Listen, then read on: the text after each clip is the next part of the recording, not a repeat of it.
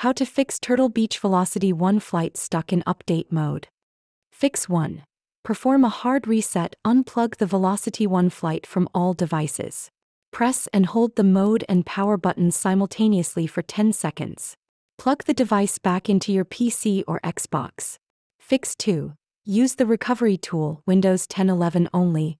Obtain the latest version from Turtle Beach's official support page. Then follow the on screen instructions to install the recovery application. Ensure the Velocity 1 flight is in update mode. Screen displaying update mode. After that, launch the application and follow the prompts to restore the device to its factory firmware. Fix 3.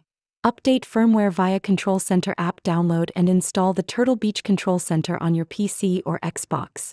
Plug in the Velocity 1 flight. Open the app and check for available firmware updates. If an update is available, follow the prompts to install it. Fix 4. Reinstall Control Center app. Remove the Control Center app from your device. Restart your PC or Xbox. Download and install the latest version of the Control Center app.